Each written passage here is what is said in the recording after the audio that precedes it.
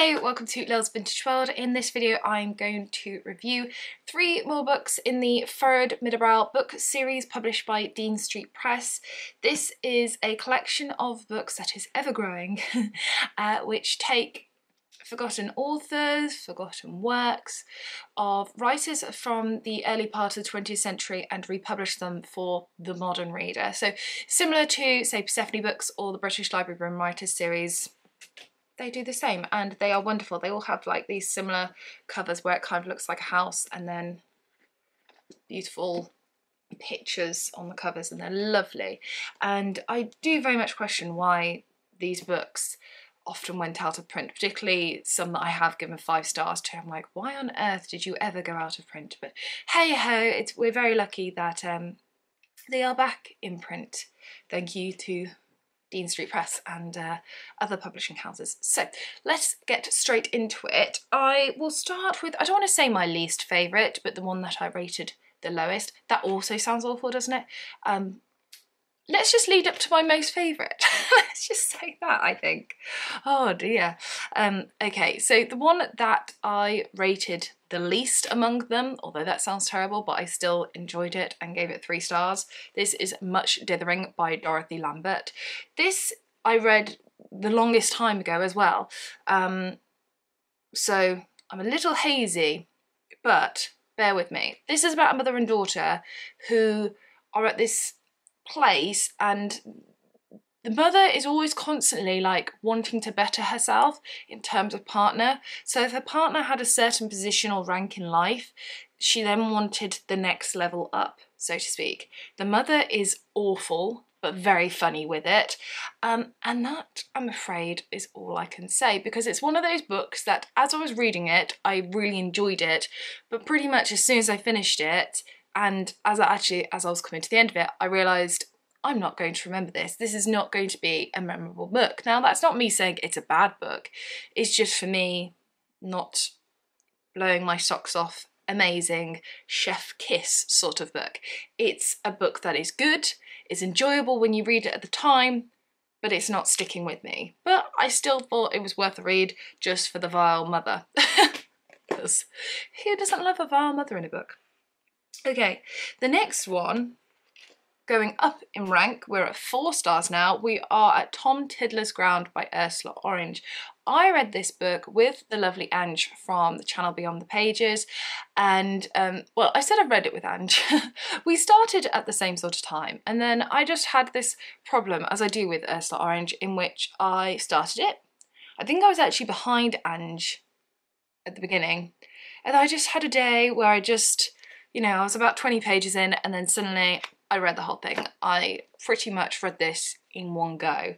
I was reading little bits, and little bits, and then whoosh, read the whole lot. I have a problem. So Tom Tiddler's Ground is set during the Second World War. It was also published during the Second World War as well.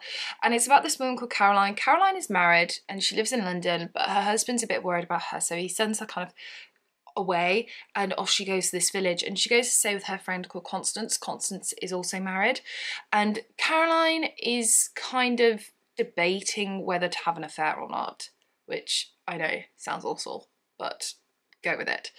And while she's at this village, there's a whole lot of things happen. So there's things happening in Constance's marriage as well. There's a lot of things happening in the village in which Constance resides, and of course Caroline is staying.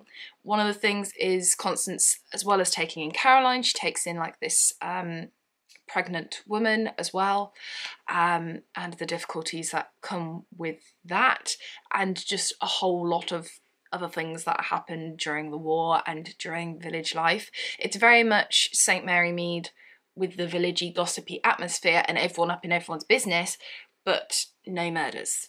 So there we are. I have to say a huge, huge thank you to Dean Street Press, Furrowed Middlebrow, because without them, I would have never, well, maybe, but chances are very, very slim of me finding Ursula Orange. Ursula Orange is right up there for me with my favourite authors. I think a great way to describe Ursula Orange is as a young Barbara Pym. If you like Barbara Pym, all the nitty gritty little details of every single day life and just writing women beautifully and so realistically, you will like Ursula Orange. As I said, she reads like a younger version of Barbara Pym because she writes about younger women, kind of very young married women, whereas Barbara Pym writes mostly about older women, um, a lot of spinsters, or or women that are kind of middle aged sort of thing. Ursula Orange often writes about quite young women and does that amazingly well. I mean, Ursula Orange was um, very young when she wrote her first novel, Begin Again. I think she was in her 20s when she wrote that. And she passed away when she was also very young as well. So I think there is that certain level. And as I said, if you like Barbara Pym, you'll love Ursula Orange. It just it goes together. As I said, I gave this four stars. I did really, really enjoy it. The reason why it's four stars and not five is because there's two of the books out there in print of Ursula Orange. Now, there are actual six novels of Ursula Orange that she wrote in her lifetime. Three of which, as I said, have come back in print thanks to Dean Street Press. Three of which haven't yet. I'm crossing my fingers, crossing my toes. I'm like, someone please reprint them. Um, and Begin Again by Ursula Orange was my favourite book of 2020. It was incredible. I still can't get over that book. Then I read Company in the Evening and I gave it like a four slash four and a half stars.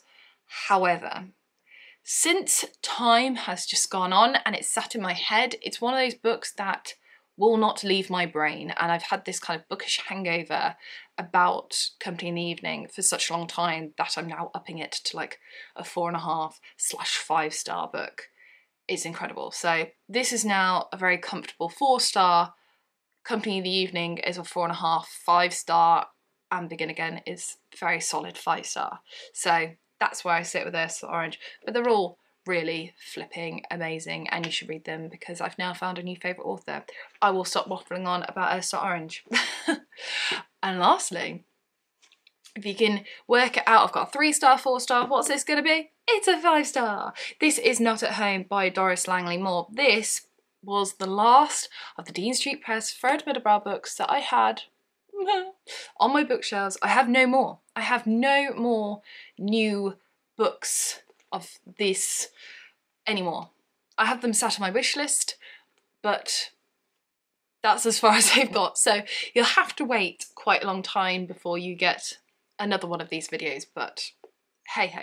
Um, you get in this one. It's good. Not at Home by Doris Langley Moore was spectacular. So this is about a woman called Eleanor. Eleanor has a really nice home.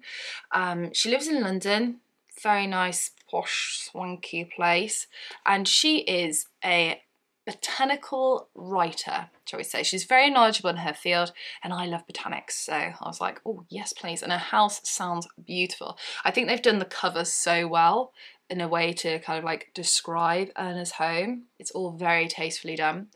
And then right at the beginning, we know that Eleanor wants to kind of lease part of her house, like split her house in half sort of thing, and rent out it for a couple of reasons. Um, she just essentially needs the money, um, and the best way to do it in her eyes is to get tenants in essentially. And so within chapter one, we have a Mrs. Banks come to have a look at the property. Mrs. Banks has been recommended by a kind of mutual friend between the two. And Mrs. Banks is extravagant, frivolous, and really annoying. and she is a horrible, horrible, horrible woman. She is married to a man who's a journalist abroad, like within the army. They are an American couple. Their children still live in America and they're over here in London. And it, it kind of just works out that Mrs. Banks persuades Eleanor uh, to stay. However, I do have to read you this bit because I thought it was absolutely hilarious because this is this is the last kind of bit of the first chapter. She had almost certainly never taken such dislike to anyone in the whole course of her prudent, and well organised life. That's Eleanor talking about Mrs. Banks. So that's the end of chapter one. She says that she doesn't like her. And Mrs. Banks moves in and she is awful. She treats the place terribly. There's something happens to birds and dogs, which I just absolutely, I hated her before, but I despised her after. The way she treats Eleanor in the home is so disrespectful.